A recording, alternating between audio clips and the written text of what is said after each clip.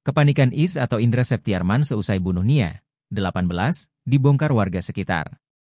Gelagat aneh itu dilihat oleh warga sebelum jasad Nia Kurniasari, 18, ditemukan. Warga sempat melihat pelaku Is melarikan diri ke semak-semak sambil bertelanjang dada.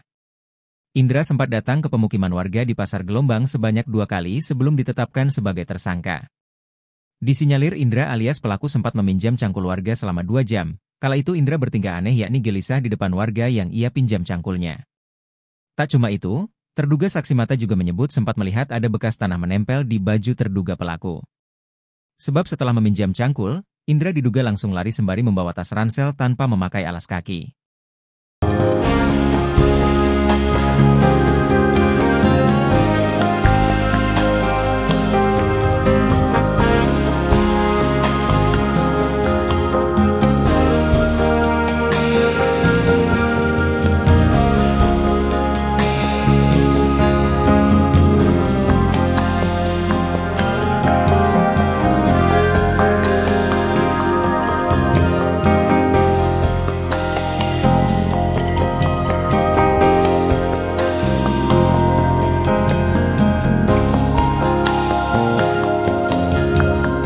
Download Tribun X sekarang.